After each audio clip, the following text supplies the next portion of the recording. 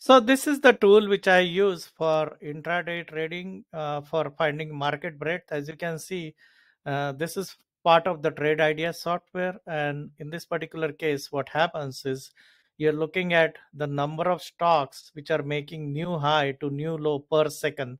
So at this stage, you're looking at six stocks making new low, and you see that selling came in here, right? And so it tells you when selling or buying comes in.